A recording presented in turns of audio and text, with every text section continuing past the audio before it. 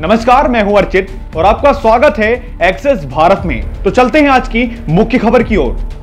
परिणीति चोपड़ा और राघव चड्ढा की शादी ने खूब चर्चा बटोरी। दोनों की वेडिंग फ़ोटो और वीडियो अभी तक सोशल मीडिया पर वायरल हो रहे हैं। इस बीच अब परिणीति चोपड़ा ने अपनी शादी का खूबसूरत वीडियो शेयर किया, जो परियों की कहानियों से कम नहीं है। परिणीति चोपड़ा और राघु चड्ढा ने 24 सितंबर को उदयपुर के लीला पैलेस में डेस्टिनेशन वेडिंग की। दोनों की शादी में बॉलीवुड और राजनीति की दुनिया से कई जाने माने चेहरे पहुँचे। एक्ट्रेस की शादी के फ़ोटोज़ पहले ही इंटरनेट पर छाई हुई हैं। इसी बीच अब एक्ट्रेस अपना वेडिंग वीडियो भी शेयर कर रही हैं। वीडियो सामने आते ही वायरल हो गया है। परिणीति चोपड़ा अपनी शादी में जमकर मस्ती करते हुए नज़र आई।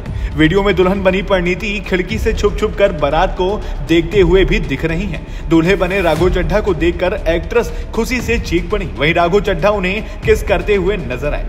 परिणीति चोपड़ा और राघो चड्ढा की वेडिंग वीडियो की शुरुआत खूबसूरत लेक लोकेशन के साथ होती है। इसके बाद दूल्हे बन रहे राघव चड्ढा दिखाई पड़ते हैं। सबसे ज़्यादा ध्यान ब्राइड और ग्रूम की एंट्री ने खींचा है। राघव ने आगे स्टेज की ओर बढ़ते ही अपनी दुल्हन को फ्लाइंग किस की तो वहीं जवाब में एक्ट्रेस ने भी खूबसूरत अंदाज में जवाब दिया।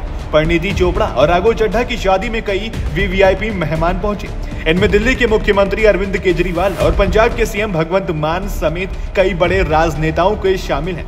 बॉलीवुड से सेलिब्रिटी डिज़ाइनर मनीष मल्होत्रा परी का साथ देने पहुँचे। टेनिस प्लेयर सानिया मिर्ज़ा भी बहन अनम मिर्ज़ा के साथ शादी में शामिल हुई।